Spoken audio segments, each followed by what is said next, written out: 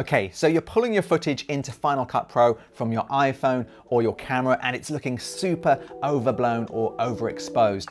Well, I'm gonna show you the fix for that in this video. Hey, welcome to the video. I'm Mark from Editor's Keys and I'm gonna jump straight into this one. I know this is causing you a big headache. So what's happening is you're pulling in footage from your iPhone 13, iPhone 12 in 10-bit or cinematic mode, or maybe a Sony camera, and you're having this issue where you look at this footage here and look, we've got a nice little shot of a harbor.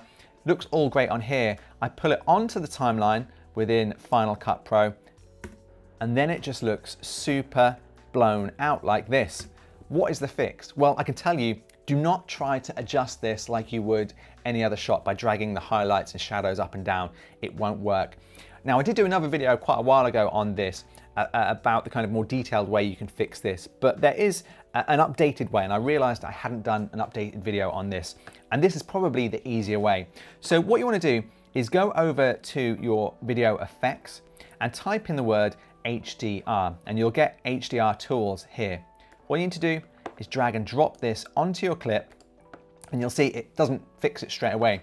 So go to your inspector, click up here, and then what you wanna do, and this is the secret, is change the mode from HDR to Rec 709 to HLG to Rec 709. And you can see there, this footage, let's just get rid of the inspector, looks perfect. That looks just how I filmed it. And now you can do your color corrections as you would.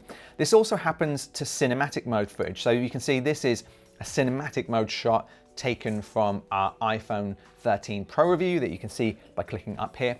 And again, I've pulled it in and it's looking super uh, overexposed. It doesn't do this in the viewer. So again, if we drag the HDR tools onto this, so we've gone to the inspector, we've turned on HDR tools, and we're gonna again change from HDR to HLG, and we can see there now, if we play back this footage, it looks great. It looks just how we filmed it on the iPhone 13 Pro. So there we go. I promised you this would be a quick fix and that's exactly what it is. So let me know in the comment section below if this helped you. And by the way, if you want to see our full review of the iPhone 13 Pro, you can click up here. And we also have a ton an absolute ton of Final Cut Pro tutorials on this channel. So make sure you subscribe, hit the like button and the notification bell if you want to be notified of our future videos. Thanks for watching and I'll see you in the next one.